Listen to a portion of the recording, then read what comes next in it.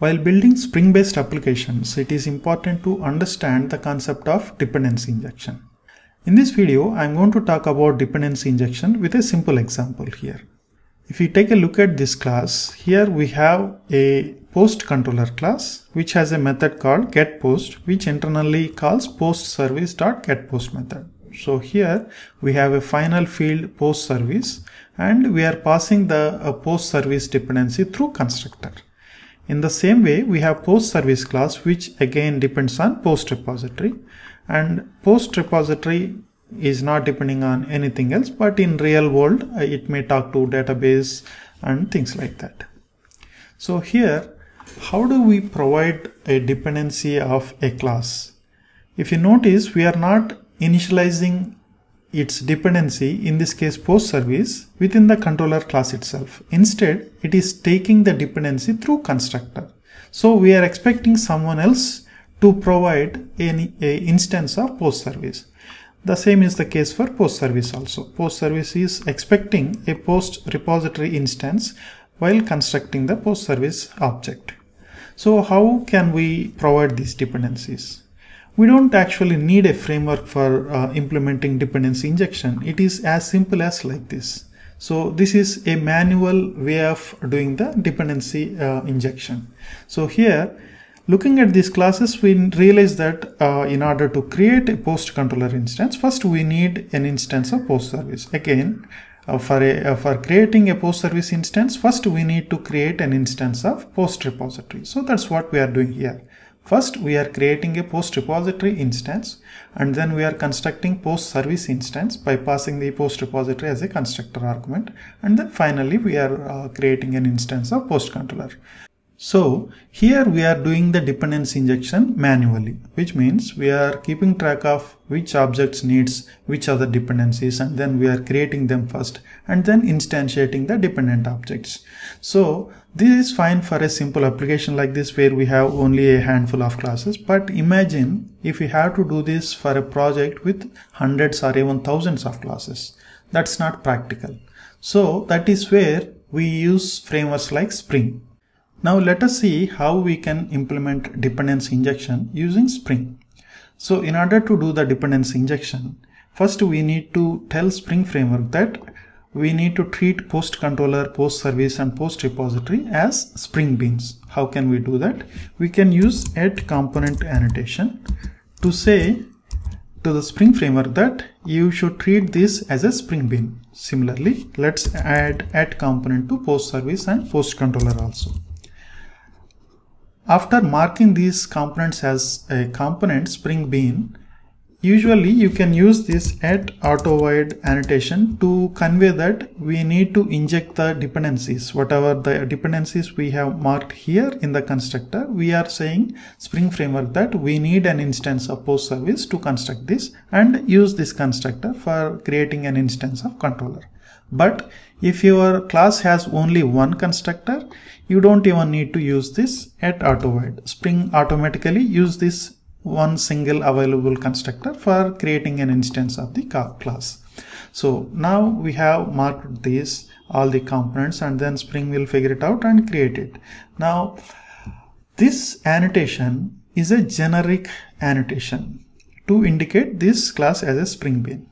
But instead of using the generic annotation, there are more specific annotation that uh, defines some semantic meaning. For example, add controller. So we are using add controller for post controller. It also says this is a Spring Bean and also it says that this is a class where we might have a uh, handler methods to handle web requests. So we are conveying extra meaning by using a specific annotation instead of using a generic one. Similarly, for business uh, layer service components, instead of using add component, you can use add service. That convey that this is a service layer component. And similarly, if we have a repository which usually talk to database to store or retrieve data, you can use add repository annotation. And it is not only simply for uh, giving a semantic meaning, some annotations also provide some extra uh, features also. For example, at repository.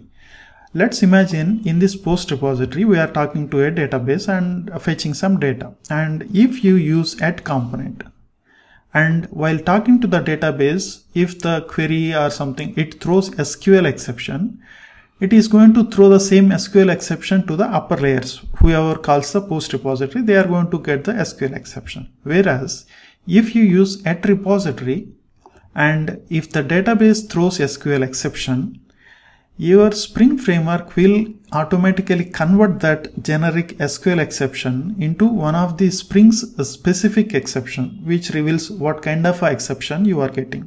So that is more useful than just getting SQL exception with some uh, error codes. So that facility you will get only when you use at repository instead of at component. So it is highly recommended to use more specific annotation instead of at component but there can be situations where uh, it doesn't a spring bean doesn't clearly fall into either a repository or service or controller then you can use at component. Okay? So for now uh, we have marked all the uh, beans as spring beans using various specific annotations. Now how do we instantiate a spring uh, application context and how do we get an instance of a spring bean? Now let us see how to do that and now I am commenting out this manual instantiation. And I am using spring where context equals to new application context. So here either I can provide all the bean class names or I can create a configuration class like this class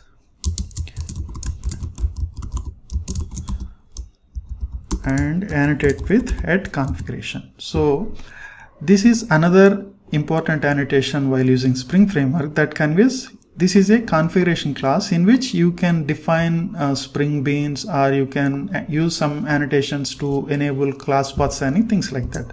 So in addition to at configuration, let's use at component scan and specify com.sivalabs.blog so this is nothing but the package name we want to scan. So this one. So when we use say component scan com.sivalabs.blog spring framework is going to scan this package and all of its sub packages for identifying is there any spring bean like like this at controller at component at service at repository. So if there are any components it's going to scan and then create an instance of them and then register in the application context.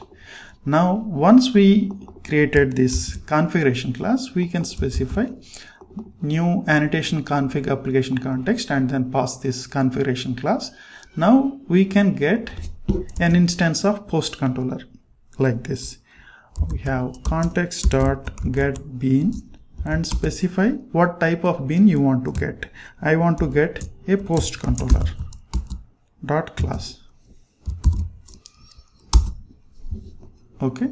So now i can run this class and spring is going to scan this package and then instantiate all these beans and finally when i ask for a controller class it's going to give a fully constructed post controller and I am getting this post which returns nothing but just these two strings and I am printing it. So it is fully because we are uh, calling post repository internally and post service. So it means it has all the beans created and it is calling uh, all the chain properly and then printing the results. So basically this is how we can uh, use Spring Framework to do the dependency injection. To register the Spring Beans, what we have followed is a annotation based approach with class path scanning approach. For now, we are using only our own classes and we are able to add our annotations, at component, at controller, whatever annotations we want to add. But what if we want to create a, a bean of uh, a class that is coming from a third party library? For example, we are using Jackson uh, JSON library and we want to register a bean of type object uh, mapper. But obviously that is not our own source code and we cannot add annotation to that. So how can we register a bean of uh, object mapper type? So this is where we can use Java config approach. So here instead of uh, using annotation based approach we can also use Java config approach like this. We can use at bean annotation and then we can create object mapper and return new object mapper. So we can create a configuration class and then within this class we can create methods that return some type of object and annotate with at bean. So what Spring will do, it will scan these configuration classes also and then register a bean of this type and using this method as a recipe to create an instance. In this case, it is a simple uh, instantiation or if you can implement some complex logic, you can do that as well. So this is what is called Java config based approach. And usually you can mix and match and some people even prefer to follow this approach instead of adding these annotations but my recommendation would be for your own code you can add this annotation and use the component scan and register uh, beans of third-party classes using java config approach. We have learned the basic concepts about spring's dependency injection but there is more to it. Like there are bean scopes bean lifecycle callback methods and things like that. But whatever we learned is sufficient to get started. So the additional in-depth concepts we can learn as and when required while uh, implementing our application. So I hope this video is helpful and thanks for watching. Bye bye.